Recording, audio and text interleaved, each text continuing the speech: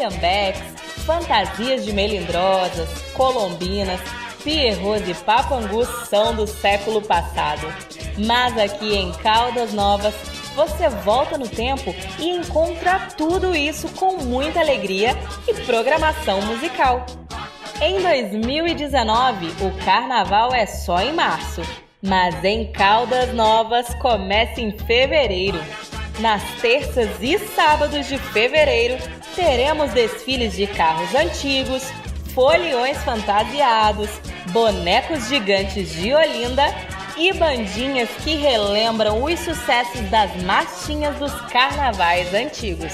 Monte o seu bloco, traga a sua família e venha curtir momentos especiais no Carnaval Antigo de Caldas Novas.